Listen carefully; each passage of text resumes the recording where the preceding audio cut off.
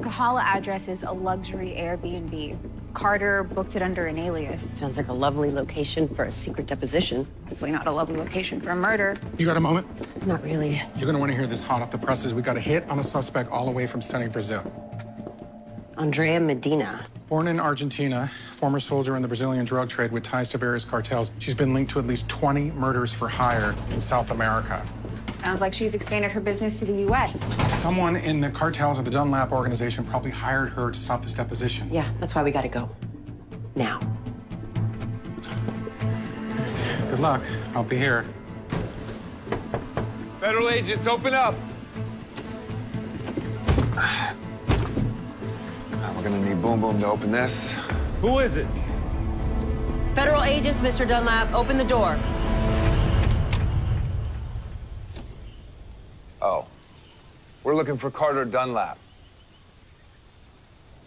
Ask for ID, Martin. Can I see some ID? Mr. Dunlap, we're NCIS agents. We need to talk to you right away. Ask them what this is about. There's been a series of murders in the last 15 hours. Every one of them is connected to you. I knew it. It's okay, Martin. They're here to help. I, I knew something was wrong when Greensboro didn't show. We know this all must be very upsetting. All of this planning to get here. Mr. Dunlap, we know about the troubles your company is facing, the civil lawsuit, the possible criminal investigation. We believe someone or some outfit has a strong interest in stopping your deposition. Yeah, I know exactly who's behind it.